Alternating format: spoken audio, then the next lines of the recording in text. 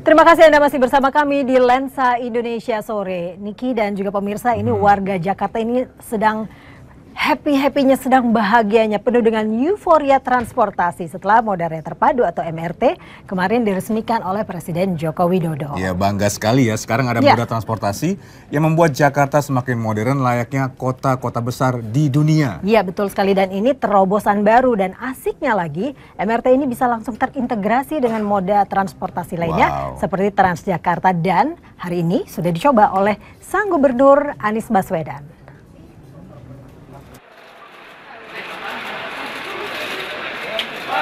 Gubernur DKI Jakarta Anies Baswedan siang tadi kembali menjajal MRT dari stasiun Lebak Bulus menuju stasiun Bundaran HI.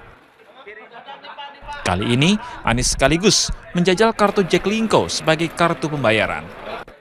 Sesampainya di stasiun MRT Bundaran HI, Anies Baswedan langsung berpindah transportasi menggunakan Transjakarta dengan menyeberangi Pelikan Crossing yang menghubungkan antara stasiun MRT Bundaran HI dan halte Bundaran HI. Terkait tarif, hingga 31 Maret mendatang, penumpang MRT masih belum dipungut biaya.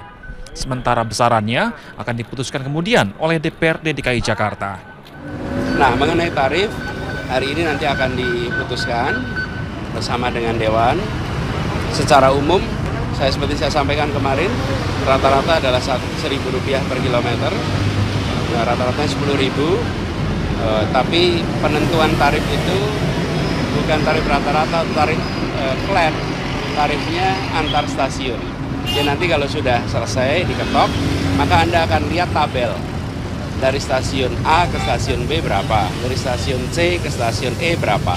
Jadi tarifnya bukan tarif yang flat, tapi tarif antar stasiun. Anies Baswedan menyebut direncanakan tarif pembayaran untuk MRT, Transjakarta, dan transportasi umum lainnya yang telah terintegrasi akan digabungkan sehingga besarannya dapat ditekan dengan bantuan subsidi. Dari Jakarta, Dia Mulia, Nathaniel Pakpahan, RTV.